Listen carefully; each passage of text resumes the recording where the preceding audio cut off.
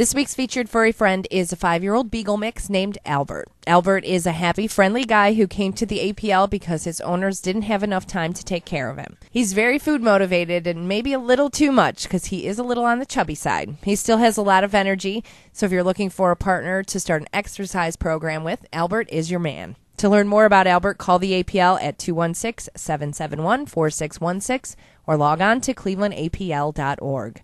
Check back next week for another featured furry friend from the Cleveland APL.